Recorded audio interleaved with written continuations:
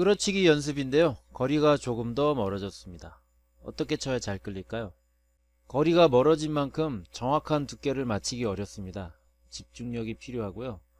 보통 끌어치기가 잘 안되면 더 세게 치지 못해서 그렇다고 생각하는데요.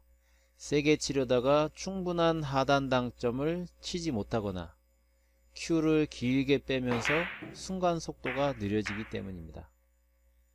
당점을 실수하게 되는 이유는요. 내 공을 보지 않고 빨간 공을 보고 치기 때문이거나 세게 치려다가 자세가 흐트러졌기 때문입니다. 바르고 안정된 스트로크가 완성될 때까지는 내공만을 보고 치시기 바랍니다. 또한 세게 치는 것이 필요한 것이 아니라 임팩트 순간에 순간 속도가 빨라야 하는 것이므로 노린 당점을 정확하고 빠르게 칠 수 있도록 집중하시기 바랍니다.